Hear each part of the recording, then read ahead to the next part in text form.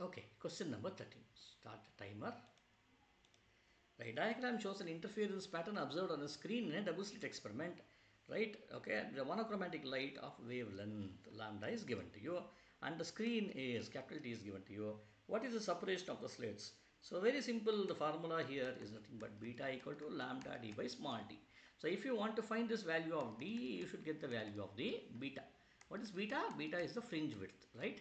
So if you count the number of fringes here, you see from here 1, 2, 3, 4, 5, 6, 7, 8, 9, 10. Right? There are 10 fringes in between these two.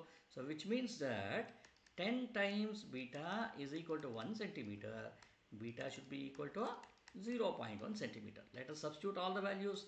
I get the value of d is equal to lambda is 600 nanometers multiplied by capital D 1 divided by small d. What is small d? 1, 0.1 centimeter. 0.1 centimeter. So how much will this be?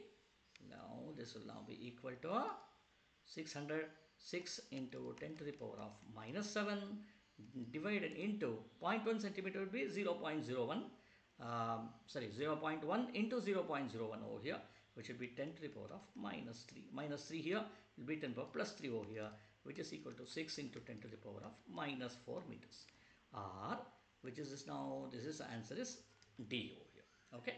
Let us move on to the question number 14